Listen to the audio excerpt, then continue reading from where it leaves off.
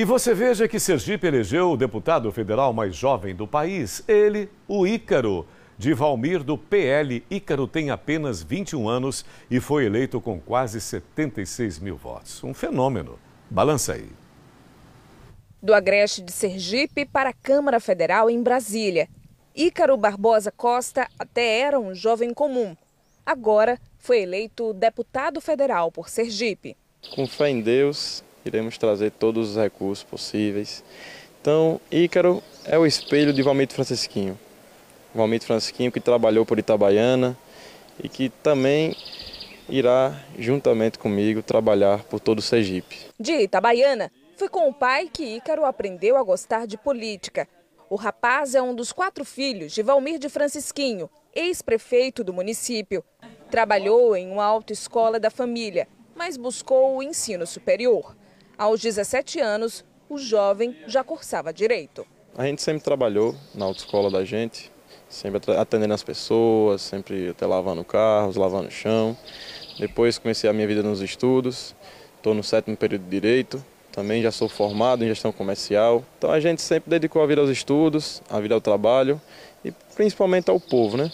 Meu pai sempre foi dedicado ao povo, então a gente também, também sempre esteve no meio. Ícaro tem apenas 21 anos, é o deputado federal mais jovem eleito nestas últimas eleições. E ele vai assumir uma cadeira na Câmara dos Deputados a partir do ano que vem. Ele foi eleito com 75.912 votos. Ele é o segundo deputado federal mais bem votado do estado. Para o jovem, a vitória é fruto de uma injustiça contra a família. Valmir de Francisquinho, seu pai, teve o nome excluído da corrida eleitoral às vésperas das eleições. A gente entrou na política diante de ser uma resposta, uma resposta a toda essa perseguição que fizeram com eles. Então a gente entrou e realmente o povo sergipano deu a resposta. Hoje estamos aqui, graças a Deus, eleito deputado federal, por uma resposta dos sergipanos, por uma resposta positiva diante do trabalho de meu pai. Ícaro dispensar agora nos sergipanos. Entre as metas do futuro mandato está a melhoria das rodovias que cortam o estado. A gente vai pedir bastante, juntamente com o DENIT, né, Departamento Nacional de Infraestrutura e Trânsito, a duplicação da BR-235, que é tão sonhado pelo Agreste, tão sonhado por Itabaiana e também por Sergipe em todo. Né? Então, a duplicação da BR vai trazer um fluxo maior de, de carros, de trânsito, mas de forma que o escoamento até do milho, por exemplo, da questão agrária, que o Agreste é bastante produtor de milho, para uma forma mais rápida, para trazer todo esse trânsito mais tranquilo, né? A gente sempre olhou meu pai trabalhando, então ele nunca parou e eu também nunca vou parar.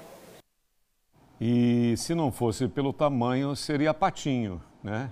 O filho do pato é Patinho, mas pelo tamanho, né? No mínimo é o pato. Agora, vamos combinar só uma coisa. Passada, superada a situação todinha, é, vamos entender que realmente foi uma grande resposta à final. E os quase meio milhão de votos destinados também ao Valmir Francisquinho foi outra resposta, foi uma manifestação política, ah, mas foram todos nulos. Mas ao menos houve essa manifestação e essa disposição no sentido de votar no candidato a governador e também no filho, né, o, o Ícaro. É isso. Você entendeu bem e eu também entendi.